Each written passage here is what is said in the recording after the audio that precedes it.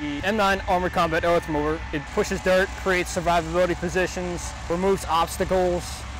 It also keeps up with convoys, so instead of uh, having to move a bulldozer on the back of a trailer, the, the ACE will be able to keep up at about 25 to 30 miles an hour and uh, keep pace with operating forces.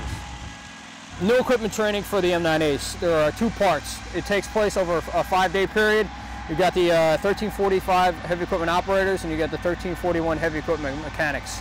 So first two days of uh, classroom instruction, both the maintainer and the operator are learning overall generalization of the vehicle. And then come Wednesday and Thursday, the operators and maintainers split and the operators are taught a little bit more in depth about how to op actually operate the vehicle. Then the maintainers go into maintenance bay and learn more in depth about how to fix the vehicle. The modernized M9 Ace is a damn good piece of gear.